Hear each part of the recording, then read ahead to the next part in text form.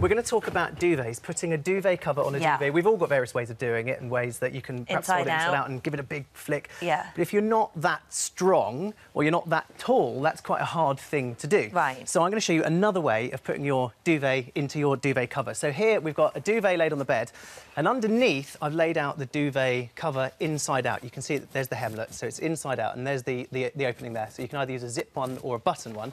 Holly, I'm going to ask for your help to do Yeah. this. You can do this on your own. It's just for the purposes of this, we're going to make it a little bit quicker. Okay. So what we do is, that's it, roll it. So roll it like a big burrito, like a big sausage, all the way to So the, the, end. sheets rolled all the way over Yeah, the covers. stop there and then just pull it back a bit. That's it, like that. Now, put your hand inside the zip opening, OK, mm. until you can get your hand. Just see what I'm doing. What are you doing? I'm grabbing the the, corner. Yeah?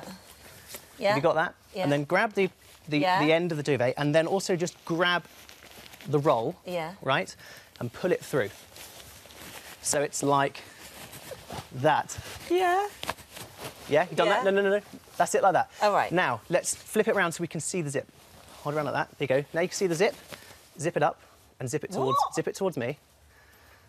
What the hell is going on here? Now we have a sausage. Right, we do. But now what we're going to do is we're going to take that end and the op- the other part of the duvet is just tucked inside. So if you ah. get in there and separate the two like that, you see that? Yeah. And then roll it, roll it back. I oh do know. my I think I think with a bit of practice, that's a really good idea.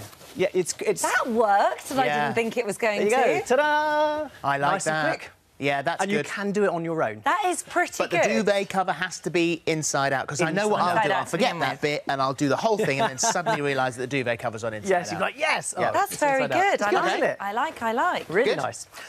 To watch more exclusive YouTube videos, simply click here and subscribe. I promise you won't regret it. If the egg's just in a bowl, it's not in a pan, yeah, it's not hot, just wet your fingers. What? Yeah, wet fingers will pick out, hopefully you can see that. Go wet on. fingers will I don't pick believe out this is going to work. the little bit of...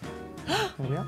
Have a look at this, swimming noodles. This is what you were talking about earlier. Swimming noodles attached to the oh. wall. So just Rawlplugs inside, you can screw right through them because they're nice and soft. That's a really good idea. There you go, look, so you're not going to bang your door. And if not for you, for the kids, they oh, Yeah. always open the door and go clunk. Yeah.